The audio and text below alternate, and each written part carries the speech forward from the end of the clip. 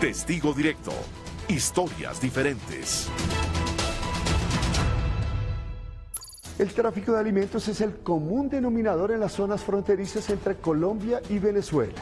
Carolina Flores estuvo en Arauca con cámara oculta y descubrió que muchos productos están en estado de descomposición.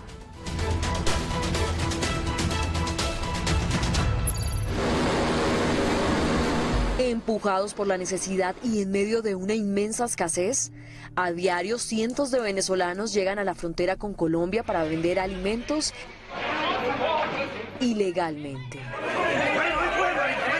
Personas que se vienen de otros estados para acá, para Arauca, ¿qué? a sobrevivir, a vender sus prendas, a vender que si un litro de miel para poder sostenerse, un anillo, una pulsera para poder sostenerse, porque la situación en Venezuela no es fácil.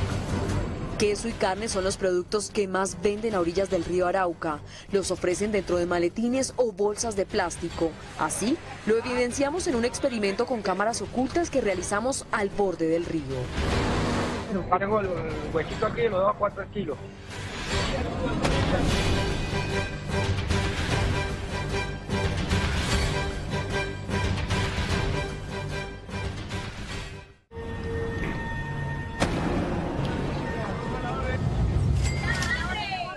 ¿Qué es eso, madre? Chuleta ahumada, mi vida. ¿A cómo? A 12 te la pongo para que te la lleves. Tiene 8 pedazos. Venden todo tipo de cortes y de carnes. De lo que se me pida, lomo, pollo, cocozuela. ¿Fresca? Fresquita, papi.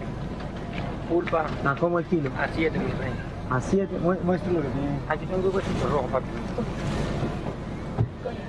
¿Hueso? Hueso rojo, carnudo, papi.